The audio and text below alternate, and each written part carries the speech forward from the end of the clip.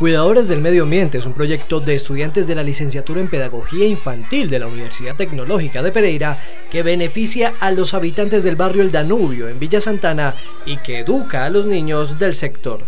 Primero nosotros llegamos a observar a los, a los niños, eh, el contexto, ¿cierto? Conocerlos un poco y ya entonces comenzamos pues a mirar qué, qué podíamos eh, hacer por el, por el barrio. O sea, que el proyecto fuera algo que eh, diera impacto sobre el barrio, entonces nosotros comenzamos a preguntarles, bueno, ¿ustedes qué harían por el barrio? ¿Qué necesidades ven que el barrio necesita? Entonces eh, ellos mismos dijeron, no, pues el barrio necesita que, ellos mismos dijeron, pues las basuras, que habían muchas basuras en el barrio, que no utilizaban eh, las canecas, la, gente saca la basura cuando no es, cuando no, no pasa el camión.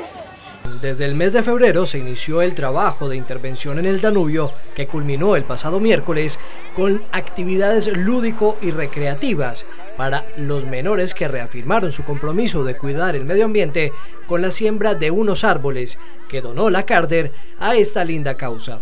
Pues me ha parecido muy excelente porque pues eh, a lo menos no hay casi basura en este barrio del Danubio Bajo y los niños aprenden mucho el medio ambiente y pues eh, es un proyecto que ha hecho muy lindo porque han sembrado arbolitos y ha cambiado un poquito el parque con la ayuda de esas muchachas que estaban los niños y niñas del Danubio ahora serán encargados de velar por la limpieza de las zonas verdes y ser cuidadores de los nuevos árboles que ellos mismos sembraron.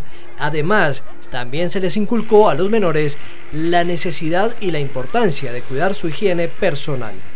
Lavarse las manos, em, cuidar el cuerpo.